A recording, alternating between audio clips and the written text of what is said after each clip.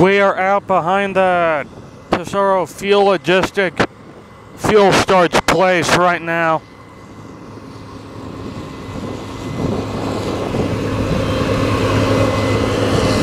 I think this is the second to last run for the field altogether.